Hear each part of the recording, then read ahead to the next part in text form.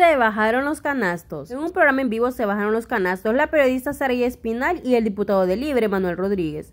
En una entrevista en HRN, Saraya arremetió fuertemente contra el diputado luego que la tildara de ladrona, relacionándola al caso del expresidente Juan Orlando Hernández, lo que causó de inmediato mucho malestar en Saraya. El malestar de ambos fue tan grande que hubo hasta palabras soeces y amenaza a visitar a los juzgados, entre otros. ¿Cómo, le, ¿Cómo les ha ido? ¿Ha sido un viaje solo de pijineo, de andar paseando qué es lo que han hecho? ¿Qué resultados traen de Rusia? Entiendo que ahora también la Duma rusa va a ser observadora del Parlamento Centroamericano. Cuéntanos un poco a los hondureños, abogado Rodríguez. Así inició la entrevista. Pero a criterio de Saray Espinal, el diputado Manuel Rodríguez se fue por la tangente.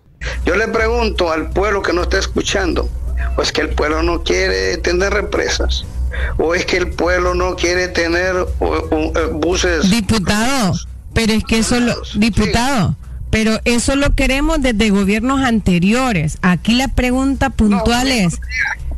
Ando Hernández, el dictador, el narcotraficante, robájalo para él. Ese no, no lo que le estoy diciendo es que los hondureños honestos queremos hospitales desde hace años.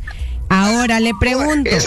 Narcotraficante y el Partido Nacional es narcotraficante. Pero eso ya lo sabemos, diputado. Aquí lo que queremos saber ahora que ustedes son gobierno, que son autoridad, que tienen el poder, que tienen el dinero, ¿qué nos traen? Cuando llegue así que el tiempo le voy a enseñar las piernas como, te, como las tengo inflamadas. Te está trabajando en esa mesa parado porque aquí hay que Diputado, pero mire, si usted no lo hace, ¿quién lo va a hacer? Es que para eso se le paga a los diputados bien, para que gestionen cosas a favor del pueblo. El problema es que ustedes roban el piso. No, mira, a mí deje estarme mencionando como ladrona porque yo no soy diputada. Compórtese y edúquese. Ah, que aquí no es el Congreso Nacional. Aquí nadie le ha faltado el respeto, don Manuel.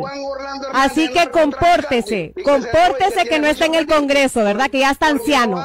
Se comporta, que aquí no está en su casa. Se comporta. Aquí no le va a faltar el respeto a nadie. Aquí no está en el Congreso Nacional.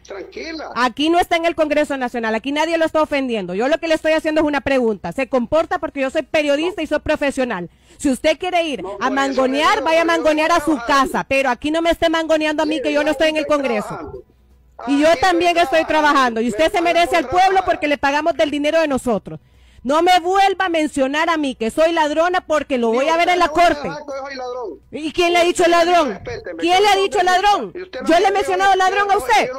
No, ¿y quién se lo ha mencionado? No, pero usted me dice a mí que aquí vengo, que gano un sueldo y que ¿Qué ¿Y usted no es empleado del pueblo?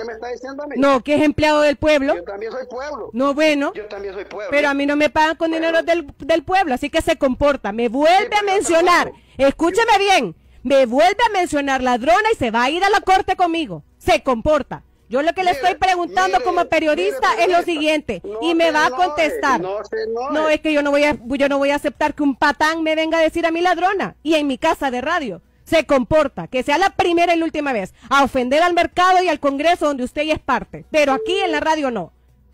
Aquí no podemos estar permitiendo que este tipo de personas esté faltándole respeto al pueblo hondureño.